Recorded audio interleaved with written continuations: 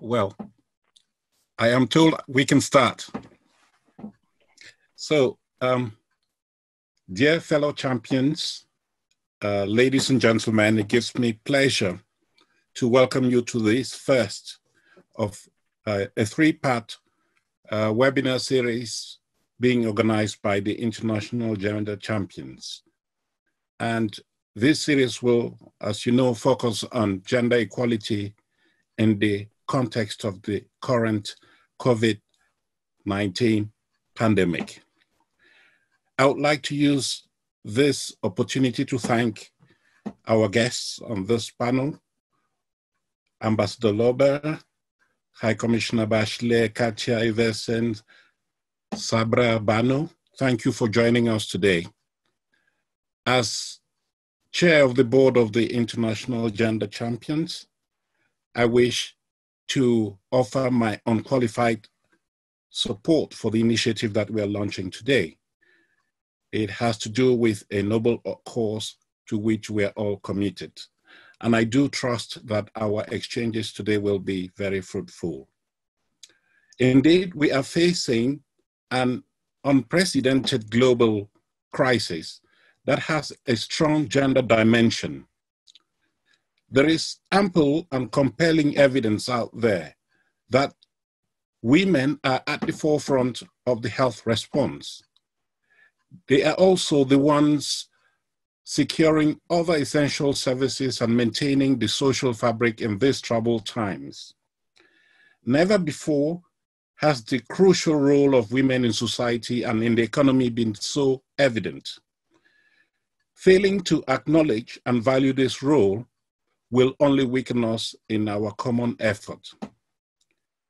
We do recognize that women are also particularly impacted during this crisis because of the pre-existing gender discrimination. Women's job and income insecurity is becoming even more acute. Their immense share of unpaid work is on the rise, further undermining gender equality within families, and those in confinement with abusive partners are facing increased violence in their homes. Also, women's underrepresentation in decision making fragilizes our common response to the crisis and undermines our ability fully to recover from the crisis. We need to count on the voices of women so we can make the right choices and build back in a more, in a more efficient way. As a network of global leaders, we all need to play our part. There should be no more business as usual. Let us take this crisis as an opportunity to challenge the way we normally work and build back ever more resilient and gender responsive challenges. I count on your individual commitment and on our collective power to make this moment a game changing one. I look forward to hearing from all of you on how you are dealing with this crisis in your respective organizations you can count on the IGC network to help spread this collective knowledge and continue to prompt commitment to bring about change. Thank you, and once more, welcome to this webinar.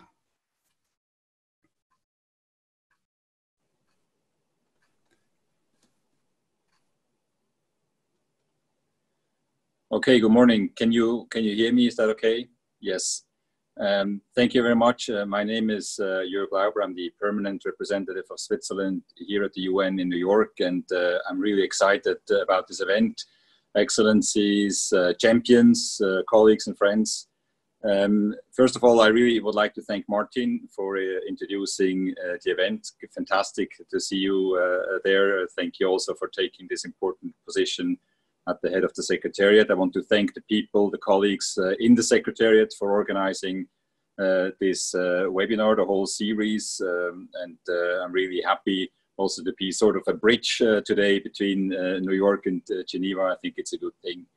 Um, honestly, I have to say when I when I I'm talking to my iPad, I see some pictures, but I, I really I really miss those meetings. Uh, we we used to complain about you know hours with other people in a sticky uh, uh, daylight free room. I miss it. I miss to meet all of you after discussions feel the vibe. But we have to do what uh, what, we, what we have, and uh, I think this is great still to be united with so many champions out there. I would like to welcome uh, our distinguished panelists, among them some longtime allies and, and some heroes of mine. Uh, thank you very much, High Commissioner Michelle Bachelet, uh, High Commissioner for Human Rights, for being with us, for taking the time to be with us today. Thank you, Katja, uh, Katja Iversen, the president uh, of Women Deliver. We've been uh, working on different things, different things in the past. And thank you very much to Ms. Sabra Bano, the director of Gender Concerns International. It's a great panel here today. Before I open the panel, please allow me to share a few thoughts um, with you. Some of them reflect what Martin just said. I think we all uh, uh, know it, and we all, in our particular individual way, experience it. That the uh, the COVID-19 pandemic is creating a profound shock. It is harming health, but also social and economic well-being around the world. And more than ever, and this is important because the debate is ongoing, more than ever, uh, a global, a united response and urgent system-wide measures are necessary to face to face the challenge we all experience some effect of the pandemic, but it is not impacting everyone equally. And we know that there are different implications for men and women. From a strictly medical perspective, early evidence suggests that COVID 19 seems to hit men harder uh, than women. Fatality rates for men who have contracted the virus are 60 to 80% higher than for women. But Martin mentioned it already, as the virus spreads around the world, the impact of the pandemic on women is becoming increasingly severe. In terms of health outcomes, and in particular regarding the social and economical consequences, COVID 19 is affecting women in a number of ways. Let me just point out a few. Um, Martin mentioned it, women are leading the health response. We all know that. They represent almost 70% of the health and social sector workforce, workforce globally, which exposes them obviously to a much greater risk of infection. At the same time, women are also shouldering much of the burden at home, given the closure of schools and childcare facilities, as well as long-standing gender inequalities in un unpaid work. Ideally, the current situation would offer an opportunity to improve on those statistics, However, um, I'm afraid that in reality, it isn't necessarily so, which brings me to the next point. Lockdowns and quarantine measures increase the risk of domestic violence, exploitation, abuse, or harassment due to the increased tension among members of the same household, difficult living conditions, and breakdowns in community support mechanisms. Access to respective support services is often limited or even completely suspended. We know, of course, uh, women are not always the victim of domestic, uh, the victims of domestic violence, but in reality, they are it in overwhelming number, in the overwhelming number of cases. The health of women generally is adversely impacted through the reallocation of resources and priorities, including sexual and reproductive health services. And therefore, sexual and reproductive health and rights is a significant public health issue that requires high attention during this pandemic. Continued access to information and services for women and men is essential in order to leave no one behind. And finally, there is the imbalance of the economic impact of the crisis. Women face higher risks of job and income loss, it's a fact that more women than men work in the informal sector where there is no job security and no safety net if a crisis like COVID 19 destroys their earnings. Colleagues, gender responsive actions and practices are critical to ensure that this crisis does not impact women disproportionately. It is crucial to place women and girls at the center of the response. Therefore, all policy responses to the crisis must embed a gender lens and account for women's unique needs, responsibilities, and perspectives. In this webinar, we will be asking our panelists to give their perspectives on how we can have gender responsive rather than just reactive leadership. As the crisis unfolds and emergency measures are put in place, what are the human rights threats and what humanitarian and economic needs should be forefront in our minds? How do we ensure women's meaningful participation in shaping global and national policies while raising their voices also in the media? Colleagues, before I'm starting the panel, I would like to try at least to share a picture with you that I saw this weekend uh, uh, when I was walking through the streets of New York, and I felt uh, when I looked at this that I have to take a picture. This is so uh, on on the spot for our for our webinar today. I hope you can see it. Um, I think it depicts a, a, a woman health worker here in New York and as in every other place, it is the women who make that system uh, work essentially. Now, turning towards our distinguished panelists, we are looking forward to hearing your insights and guidance on approaches, actions, and practices to address these gender challenges to which we all have a responsibility to respond. I would like to address the first questions to the High Commissioner for Human Rights. Um, I have three questions for you, High Commissioner. Number one, as High Commissioner for Human Rights, what information are you receiving from your country and field offices about the most pressing challenges emerging for women and girls? Number two, can states mitigate these challenges and ensure more gender responsive policies? And number three, what is your call to policymakers? Thank you very much again, High Commissioner, for being with us this uh, afternoon, morning here, afternoon with you. The floor is yours. Thank you. Thank you, Ambassador, and, and good morning and good afternoon to, to all of you, and uh, particularly to my friend panelists. And I hope that you're all keeping well in these uh, difficult times. Uh, well, we, we all have been said, but of course, I'm a physician, I'm a pediatrician, and I've been an epidemiologist, so I've been in charge of, of course, in my country on, on, on pandemics and epidemics. But of course, the COVID-19 pandemic is uh, the most serious health crisis in decades. And we know that the virus doesn't discriminate, but we recognize that some individuals are more vulnerable than others. So the challenges facing women and girls are not due to an inherent vulnerability. You, Ambassador, have mentioned something that in my pediatric experience as a, doing neonatology, I saw always that when a girl, a newborn girl and, and, and boy were born, um, I mean, if the girl had more chances to survive with a, with a difficult disease, more chances to survive than the boys. And some people say now it's because women has double X chromosome that will provide a lot of uh, factors that will be positive. But, um, and as you say, on the contrary, the emerging data, uh, uh, the fatality rate uh, seems higher among men. And even, even in um, health workers, where more women have been affected and probably infected, but more men health workers have, have, have died.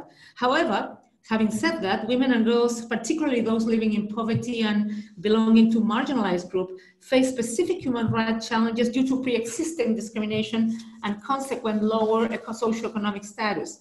And my office, I mean, the Secretary General recently published this uh, policy briefing on on uh, on the impact on women, and our office also, in online, we can find it, a specific guidance on COVID and human rights of women and girls with details on many of the challenges that now, for time, we're not going to be able to to address. So let me mention four areas of concern.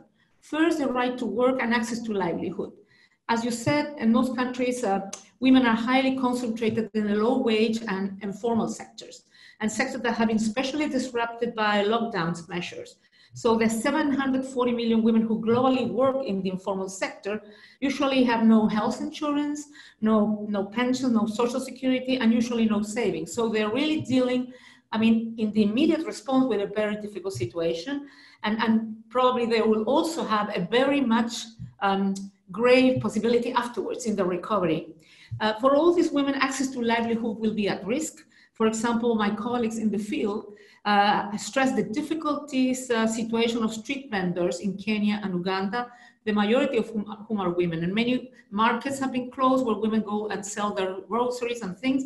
So they are having an immediate effect and they will have probably a more difficult recovery. And that has been seen in other pandemics. But also because women are also, uh, I would say, overrepresented in some uh, economic areas that has been closed, like the tourism, hospitalities, and others. So um, and they can, and they cannot work from remote. So there is a strong challenge that when I pass to what state can be that we do, I will mention. The second is the right to be free from gender-based violence. You both, Martin and you have mentioned the risk of gender-based violence, and we have seen it. It's not a theoretical risk. We have figures that show that with the lockdown and quarantine measures, women and girls in abusive situations are more exposed to bias. When you think people in a, in a closed room without income, uh, with the fear, etc., that creates much more uh, risk, of, of, course. And my, I mean, we saw in France in the first week of our lockdown, the, an increase of 30% of reports of gender-based violence uh, acts. Uh, in Australia, up to 75%. In Lebanon, it was double the numbers. And in Kenya, for example, during the th first three weeks of the crisis, the number of reports of gender-based violence spiked by 36%. So what happened, I mean, first, the situation is more risky, but other, also access to services for victims of gender-based violence can be difficult due to confinement with the abuser. And also because in some countries, those services have been deprioritized, suspended, or restricted. And shelters in some places have been uh, closed or avoided for fear of infection in several parts of the world. And we also receive reports of law enforcement officials being reluctant to intervene and arrest perpetrators due to the fear of spreading infections uh, in prisons. The, other, the third element that I wanted to mention is the right to health. The greater caregiving role that women and girls are expected to perform at home and other places may expose them to higher risk of infection. And you mentioned some of the numbers that women comprise 70% of health workers, and reports indicate that they are often not provided with adequate protective equipment. As of 16th of April in Spain, 73% of health workers who were infected were women. In Italy, at the beginning of April, it was 66%. Access to health services can be undermined by pre-existing barriers, including restricted freedom of movement, a lack of income, need of a third-party authorization, and lack of childcare options. As resources many times are diverted to absorb the epidemic, the sexual reproductive health and services for women and girls can be undermined, including their access to maternal care, safe abortion care, and, um, and uh, contraception. And previous epidemics, and the Ebola epidemic, for example, show that maternal mortality rates increased because of this diversion of, uh, of resources, but also because sometimes we have been receiving reports of women not being attending during childbirth because of lack of ambulances or public transport to reach clinics. Unfortunately, some states, including abortion, including abortion among non-essential surgeries and medical procedures to be delayed during the COVID-19 response. So in effect, denying women uh, access to safe abortion. And fourth, participation. Women and girls and their organizations are not equally represented in law. I mean, they're never equally represented. So this is not a new thing. But what we see it from Italy to Nigeria to Djibouti to the US and many other countries, all the task forces and committees created to shape COVID-19 response and recovery plan are heavily male dominated. So as past uh, health emergencies show, the lack of women leadership in such spaces has led to decisions that do not reflect their situation, needs, and rights. And let me give you one example that I lived in the President of the Republic, where we had to deal with the 2008 economic crisis. My, the group of economists provided a fantastic stimulus package that the economists said that was the fifth best in the world, not in numbers, but in, in, in how it was or comprehensive was. Yes, but it has no gender lens. It will not include anything about it. So we need to make the changes. So as these few examples show, COVID-19 has disrupted our lives in many ways, but have not stopped gender-based discrimination. In relation to what can states can do to mitigate these challenges? Well, certainly they can. And efforts are being made uh, in many, many places to protect uh, human rights of women and girls while responding to a COVID emergency. Let me mention a few examples of what appears to be promising practice. And I have to tell you, we are collecting good practices in all the different areas, not only on, on COVID and gender, but also in other issues. Some governments are adopting uh, gender-sensitive economic incentive and relief packages. For example, in India, economic relief packages specifically target women, including widows, Madagascar's social emergency plan includes street merchants, washerwomen, and sex workers among its beneficiaries. In Bolivia, the government is distributing a basket of foodstuff, canasta familiar, to mothers who are with low incomes. Also, a lot of measures have been um, taken to address gender-based violence. Some governments have declared that services for victim gender-based violence are essential, Spain and Portugal, among others. Others took measures to offer alternative accommodation to women, including paid hotel rooms in France. In other countries such as India, Ireland, Lebanon, Portugal, Costa Rica, Morocco, Switzerland, and Uruguay, online, SMS, or telephone services were scaled up. Contact points and code words for victims were established in supermarkets and pharmacies in countries like Argentina, Bolivia, France, Spain to make it easier for women to seek help. They cannot, if they are close to the abuser, tell them, look, I'm being abused. So they, for example, in Argentina, they can call a pharmacy and say, I need a red surgical mask. And they will bring uh, people to their home because they, they have invented all kinds of alternative. Um, measures were taken to increase protection by law enforcement in Ireland, for example. The police launched a campaign to proactively contact all women who had previously denounced cases of violence. In Uruguay, court protections order coming to an end were extended by 60 days. In terms of women's rights to health, states like Bahrain and United Arab Emirates are paying specific attention to the health of women and girls at risk uh, in the prevention and response to COVID. Some states took measures to make sexual and reproductive health services accessible. For example, in France, the government took action to ensure continued delivery of the contraceptive pill to women, even if they are unable to renew their prescription. And I mean, the list is long and it's encouraging, not long enough. I would like to have more response, but, but it's interesting that there's a lot of things that have been happening. We continue to monitoring and we will be assessing whether these measures are effective as well as to collect and share promising practices emerging new concerns. What is my call to policymakers? First of all, as many of you are saying and probably will say, I, we think that this is an opportunity to look how the world is working, what works, what works for who, how we can really deal with what this pandemic has shown is the presence of huge inequalities. Nothing new. Some people have, for the first time, discovered this. I mean, I've been in my life working about this, but, but of course, it has sort of nude that even in uh, developed countries, inequalities and, and, and, of course the lack of investment in the health sector has been uh, really important. So I hope we'll have a better, a better world afterwards and we learn the lessons. But in concrete, in terms of women, I would say this is time to recognize the injustice of care work for falling disproportionately on women and to promote a more equal distribution. It's time to acknowledge also the critical contribution women make to our societies and the injustice or gender pay gap um, standing at 28% uh, for health workers, for example. Uh, it's time to celebrate also the visionary women leaders who are showing some of the most compassionate and effective responses to the crisis and to call for more women in leadership. It's time to promote women's economic empowerment through gender transformative economic recovery strategies and plans so now for the response, then to the recovery and for the future. And it's time to give women equal voice in shaping preparedness and response strategies and policymaking in general. To end, Ambassador, 2020 was meant to be the year of women in commemoration of the 25th anniversary of the Beijing Declaration and Platform for Action. So let us still make it so. Let us come out of the COVID-19 crisis with more just, more equal, and therefore happier societies. Thank you.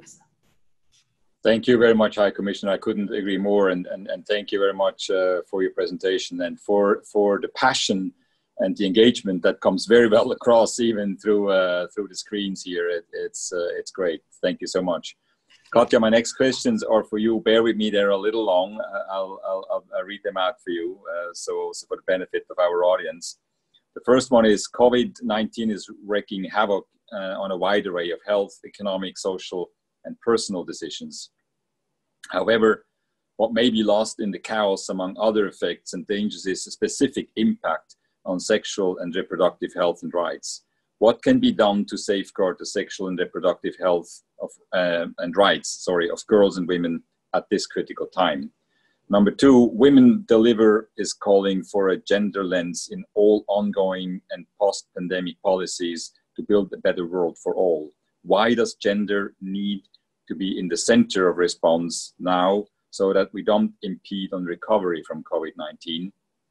And the third question members of the G7 Gender Equality Advisory Councils, of which you are a part, urgently called on governments to apply a gender lens to COVID 19. In addition, your organization published a letter following the Secretary General's report on gender and COVID 19, also calling for a gender lens to the response and recovery efforts. What are some of the key actions governments and NGOs can take that will address the gender dimensions of the ongoing crisis? Katja, over to you. Thank you also for being here. It's great to have you on the panel. Thank you, thank you.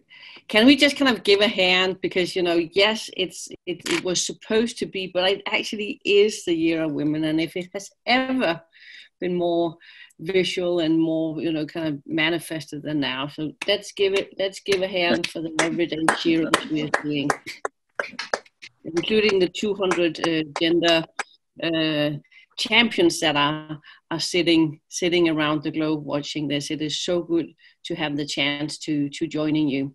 We know uh, that as pandemic spreads, it's pushing both the healthcare system but all systems to the limit. We know, and it's been said, that women are on the front line of the pandemic, both as the majority of health workers, social workers, essential service workers, and then they do the double shift at home and carry the majority of the unpaid care work. We also know that people still have sex, surprise, still need contraception during a pandemic. Women still get pregnant, wanted or unwanted, and they still give birth. And they still have that human rights to health. So we need to push, we need to keep gender at the center. Right now, governments and health providers are having to make really difficult choices on what is essential care, and resources are being diverted. But let me be absolutely clear about this.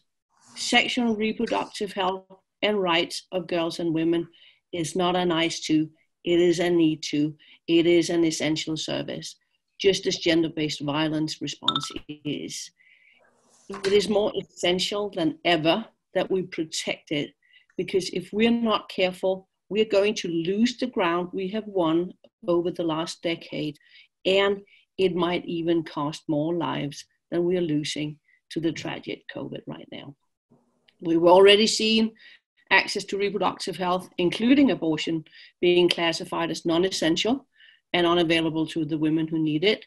We're seeing resources being diverted away from maternal and reproductive health, and that can come back and bite us.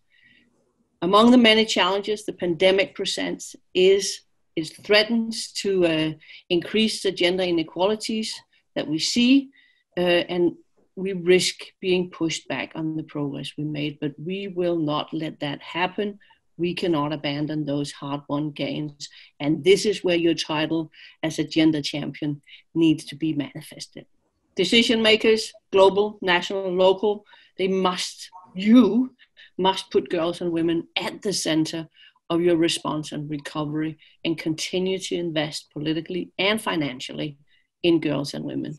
It's both the immediate crisis, but it is also when we go to recovery because if there ever was a day where it's clear that we need strong health systems i think we can all agree that it is today.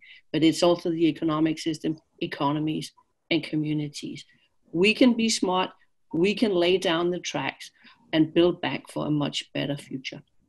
So we need to see the immediate support and the safeguarding of maternal health of continued access to contraception, of protecting hygiene and dignity, because just as pregnancies don't pause in a pandemic, neither do, do periods. So critical services, but they often shadowed, overshadowed by the effort to fulfill the absolute and essential needs like food, water, shelter, and the COVID response. So that's just the tip of the iceberg. We know that the gendered implication of COVID 19 extend way beyond sexual and reproductive health and rights. And that is why Women Deliver, many gender uh, champions, including the Secretary General and the High Commissioner and everybody on this, this webinar, we're calling for that full gender lens and a gender marker because it cannot just be words, it also has to be measured. The gender marker is a tool to demarcate whether activities actually target gender equality as a policy objective across all the responses. The High Commissioner uh, touched upon it. What do countries with some of the most efficient and effective pandemic responses have in common? Well, many of them are led by women. From Denmark to New Zealand to Taiwan, Germany, women leaders are showing the world not just the value of a collaborative, collective approach, but also how effective a gender lens is. And we must frame our pandemic, pandemic response with gender at that center because we know that girls and women experience outbreaks different than boys and men. Yes, more men die, but the socioeconomic consequences, according to all research, hits girls and women harder. So the gender lens in the recovery, we can see, or we see specific risks, vulnerabilities, and challenges because of the deep-rooted inequalities. Uh, right now, just article out, we saw that one in three jobs held by women in the US has been designated as essential. That means they keep going to work. Non-white women are more likely to be doing those jobs on the front line. Uh, we mentioned the 70% of health care workers, but it is also the social workers, it is also the cashiers in the supermarket and the, and the pharmacists in the pharmacy. Uh, and we know that more women are losing jobs in the coronavirus shutdown, despite even being on the front line. So Women Deliver and partners, we call on, we have five actions uh, to decision makers, including everybody here. Uh, and it's based on the lessons from past health emergencies and also what can help steer uh, the world response. So pull out your pen and paper. Feel free to write it down. Happy to send it as afterwards. But it is established that gender marker, gender marker to, to measure uh, and to manifest uh, the gender lens. It is um, have inclusive governance, uh, make sure that um, that that women uh, are also in the leadership, the lived experiences, the women on the front line need to be at the decision maker table, and it's many of your tables. We need to invest in the local efforts. This is being fought on the front line. We make sure that everybody needs are being met in that re- uh, recovery. So partner with and fund local organizations. We see the civic space, the economic and political space for civil society decreasing right now, and not least women's organization. And then it is investment in the comprehensive response and recovery. Little coordination is not bad either. We see duplication, uh, and that is a waste of everybody's resource. Um, it was super to see the the Secretary General come out with the, the policy brief on uh, COVID and, uh, and women. It was good to see his call on gender based violence. We're hearing that countries across the globe are picking this up. We are hoping that all of you do. Women Deliver played a role in uh, nudging the report to happen, but also feeding in together with UN Women and a lot of partners. Um, but, but of course, it's not better than it will be used, else it's just words on a piece of paper. Uh, so it needs to it needs to get in. And then you mentioned Jürg, the the G7 uh, gender councils. Uh, we have had two councils in 2018 with with Prime Minister Trudeau and in 2019 with President Macron, and we got together, and you know that was including you know Nobel Prize winners, uh, all the bigwig and I was lucky to be there too. Uh, we helped, uh, Women Deliver helped uh, um, mobilize and, and also push that call to action to the G7 uh, leaders and beyond, because it is about the gender lens and what needs to be invested in. We need to push up, put, keep, keep the pressure up. Uh, we cannot uh, let it fall. We know it easily falls off the agenda. So this morning, uh, based on a on a letter uh, Women Deliver and all the partners in the Deliver for Good uh, campaign, Deliver for Good, Deliver for Culture and Women. The campaign, 500 organizations and entities sent to the Secretary General. This morning, we put that call to action for a broader sign up uh, out. So, uh, so um, we encourage everybody uh, to sign to sign up for that, and it is overarching the gender lens to preparedness, response, and recovery, but also going very much into detail what it actually is that needs to happen. We want to use this to mobilize a broader, uh, a broader push, uh, and we, we hope you will join us. Um, so yeah, we need to put the good tracks down. We need to deal with the immediate. We need to safeguard the wins we've had in sexual and reproductive health and rights and gender equality at large. And then we need to put the tracks down for a more inclusive, more gender equal future. We know that a gender equal world is healthier, wealthier, more prosperous, and more peaceful. It is the right thing to do, but it take it takes people to do it. It takes people with power to do it, and those people are sitting right here, right now. So it's up to all of us. Thank you very much, Katja. And uh, they're sitting and being eager to put this into action. I have no doubt they'll put down your five points. And maybe you want to send out the list anyway, but thank you very much for your presentation. Thanks also for again mentioning the Secretary General's, uh, our fellow Gender Champions uh, report. I think it was very essential and important in spite of everything that's going on and must be on his desk to, to draw everybody's attention uh, to this. And uh, I assume that the High Commissioner's Office and UN Women had something to do with this. Thank you very much uh, for your contribution. Um, and we so, know that a new report is coming out this week on human rights and COVID. So that we really hope that has a strong gender lens as well. It will be this week, Katja. This week, right? Probably on Friday. We're ready.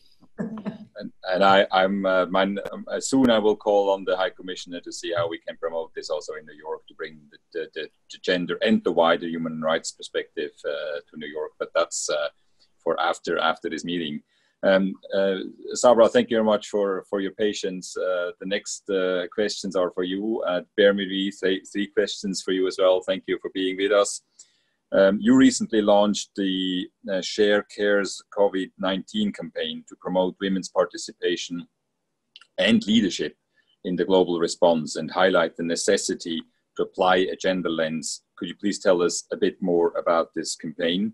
My second question you have issued a report last week on COVID 19 recovery and gender inclusive response, an urgent needs assessment highlighting the impact of COVID 19 on gender equality shortcomings in democracy, women, peace and security, and environment. The question is in what way do you consider gender equality has suffered a backlash in these areas and what might be an effective response as short and long term recovery targets? And my third question this crisis is likely to hit women, especially those who are underprivileged, harder than men on the economic level as well. We've discussed this and the panelists mentioned this already. Now, what are the necessary steps from your point of view to be taken now to support their economic resilience, including in, in particular in developing countries? Sabra, over to you. Thanks again for being with us. Thank you very much, Ambassador. Uh, it's a pleasure and honor to be uh, here this afternoon, your morning, uh, at this panel um, very much inspired by the opening remarks of the chair. I think it has set the tone uh, for passion and dedication that should be expressed and perhaps taken further uh, as an outcome to this discussion. Uh, co-panelists uh, also have brought very inspiring uh, information, but also call for action. Uh, when it comes to Gender Concerns International, uh, we were quite quick in launching this campaign, reaching out to our partners and stakeholders in some of the countries that we have been active since past 16 years. Uh, most of those countries are in, uh, uh they're considered conflict uh, zones where situation has already been precarious. So we have tried to, to collect information from women's leaders, and these are the leaders of women's organizations. How are they experiencing uh, the lockdown situation? And also the helplessness to go back to their communities, uh, especially uh, in MENA region or in Myanmar or Libya, Pakistan, Afghanistan. So the campaign was a tool to answer your first question, just to reconnect with the community and collect some evidence so we understand what is happening in uh, developing countries and how our partners are responding. Together with that line of action, we have also reached out to civil society networks in the Netherlands, but also large women's organizations. And we have come up with this uh, sort of uh, uh, uh joint action plan that even considering on domestic level uh, that we have elections next year, we should reach out to politicians as a demand for equal pay for health sector workers. It includes all health uh, professionals, including the cleaners who are the right hand of these healthcare workers in the hospitals and vicinities. So that was the scope of the campaign that we have tried to uh, combine the effort of women uh, globally, not just in the global south, but also in the Netherlands and in Europe. Then we thought, as emphasis was quite much on healthcare sector, and rightly so, we also saw that, uh, and especially as a response to the call of Secretary General for peace, uh, I think that was very important. And despite the call was made that we don't want war and war must stop because we have to fight the war of uh, COVID, this, this, this crisis is important. Unfortunately, uh, not much has happened so far, but that has also given us hope that perhaps women in Libya and women in Afghanistan and in other countries would be taking a leading role in terms of having peacetime and taking care of their families and and uh, uh, uh, uh and getting back to uh, their uh, partners and and focus on healthcare issues.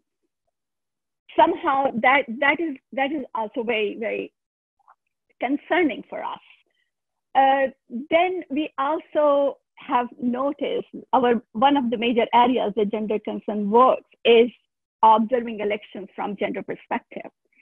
And the issue we raise is gender electoral parity. And we have seen that with the COVID, the rise in authoritarianism is, uh, is a great backlash. This is what we are also uh, we are in consultation with major election observation missions uh, and also organizations that are supporting electoral system worldwide. Same goes for activism in environmental field. I mean, this year, 2020, was a year of hope and aspiration and expectation. We had uh, uh, uh, CSW that is that was postponed, and after that there was a series till now.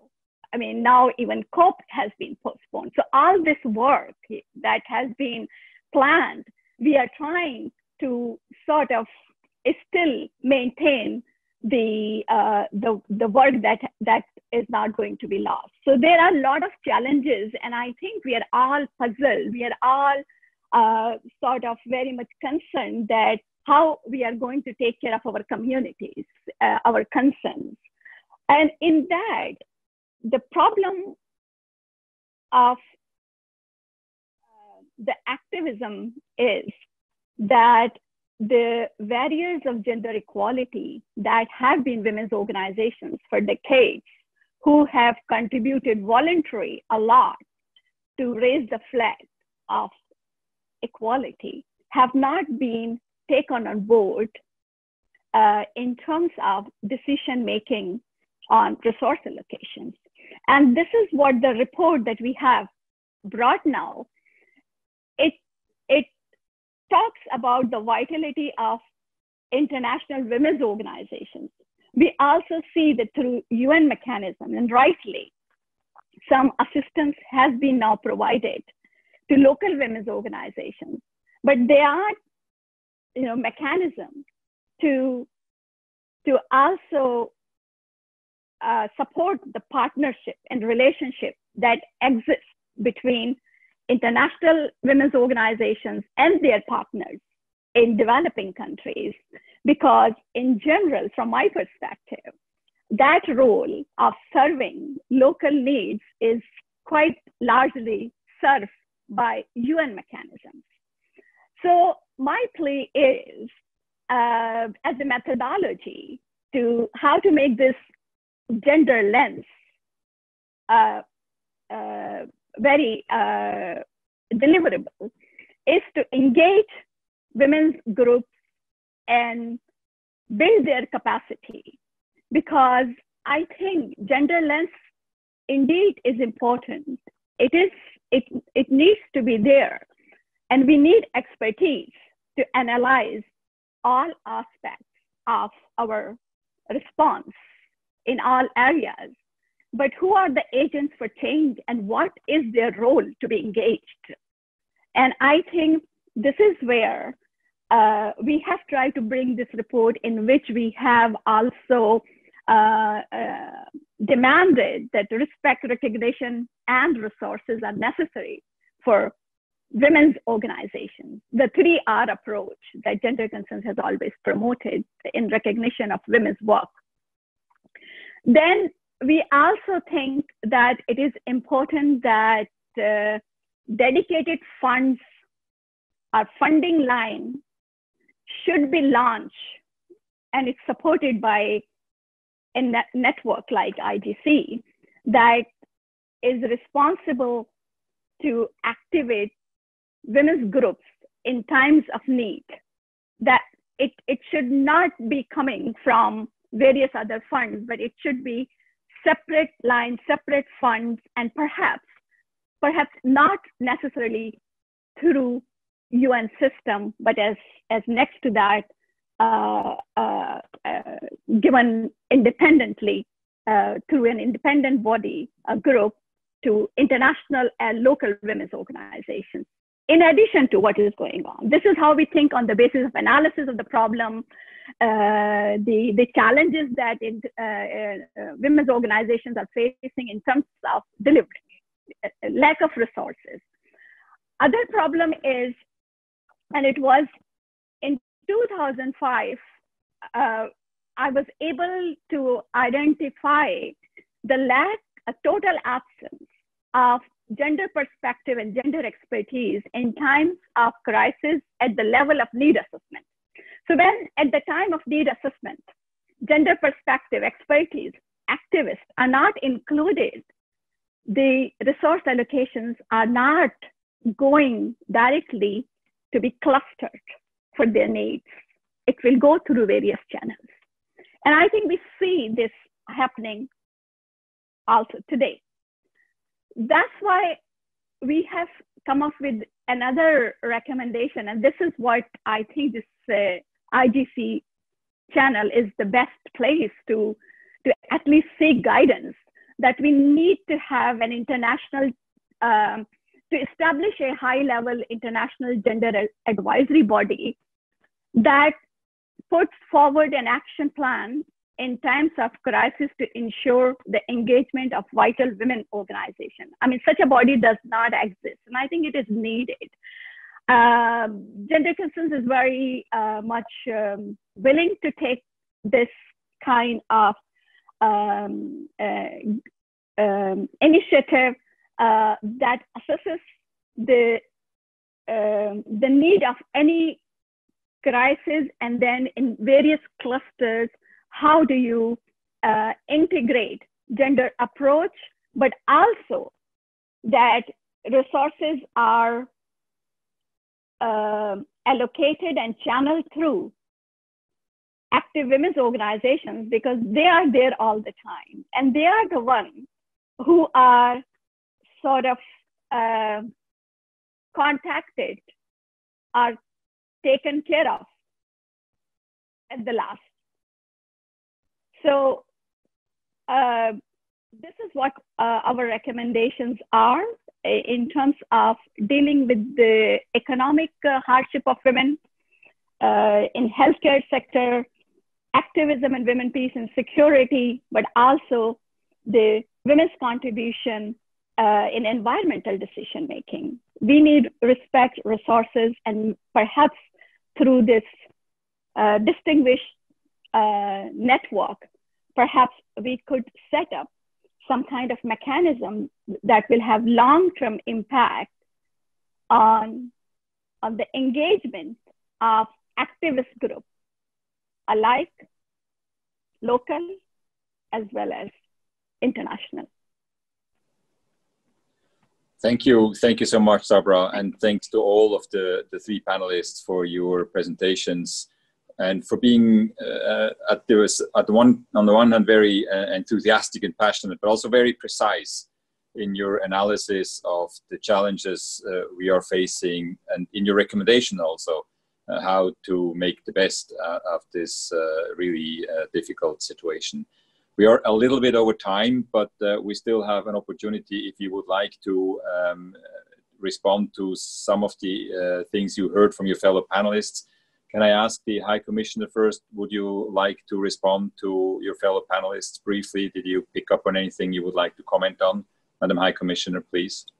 Well, I think we all agree that during the response, and during the recovery, uh, women should be at the center uh, of the concerns uh, on, on, the response, but also on the defining uh, the uh, policies because they're, they're, not only victims, they're not only vulnerable, but they're a part of the solution. They are very important in community organization. They're very important of, of um, of a ground organization. So I truly believe that even though the, the current conditions is very difficult for people, particularly poorest women, to be able to participate because of their lack of access to digital technologies and all that, we need to be more creative and find how we can ensure the women perspective is there otherwise we, we will be leaving them behind and we will be not responding adequately. But also, as our colleagues have mentioned, this has to make us change the role that women play in our society for, for, for like all the vulnerabilities and all the inequalities. We cannot try to go to normal as before. We need to, what comes after this, that needs to be much better. And women has to be there. Thank you. Thank you much, High Commissioner. Katja, any remarks? We, we, we agree. Uh, I have, you know, if this is kind of my last chance to, to say something before we, we, we move on, I kind of, I have um, I have a message, I have an ad, and I have a tweet. So the message is get that gender lens out. Dear fellow gender champions, get it out, apply it in your COVID response and recovery to your plans and policies and beyond. This is not just about COVID. We want to put down tracks for the future and we want the future to be with a gender lens. You're a gender, a gender champion. You're powerful. Use that power.